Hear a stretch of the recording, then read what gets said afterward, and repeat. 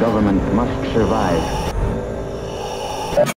Vamos ahora a España, donde los jubilados vuelven a tomarse las calles de varias ciudades bajo el lema por unas pensiones dignas. Ellos están protestando contra la escasa subida de las pensiones pactadas para este año. La imagen en Oviedo también se movilizan los Pues pensionistas. muchos gestos de indignación. Cientos de jubilados han roto esas cartas que han recibido de la Seguridad Social y las han metido en bolsas de basura. Me han bajado la pensión.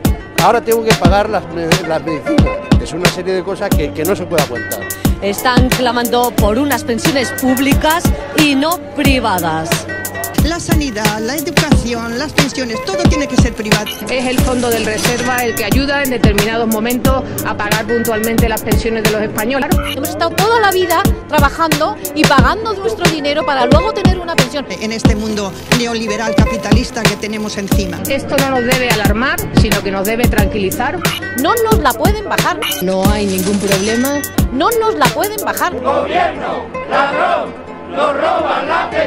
No saben gobernar, no saben gobernar y nos están arruinando, punto. Eso, engañar a la gente. Mire, digamos la verdad, si no hay dinero, no hay dinero.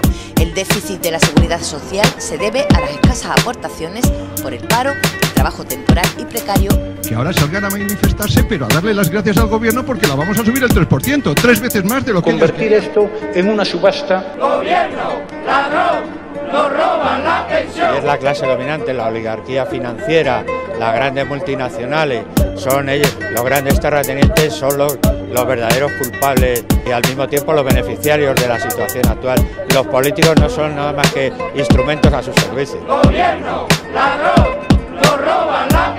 Estamos hartos, Dan 60 mil millones de euros a los bancos, estamos hartos, rescatan las autopistas, estamos hartos, tienen casos de corrupción. estamos hartos, A mí me han subido dos euros.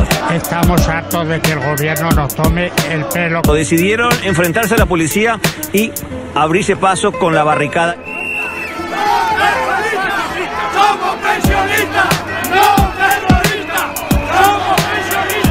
Yo no digo más, pero al IPC.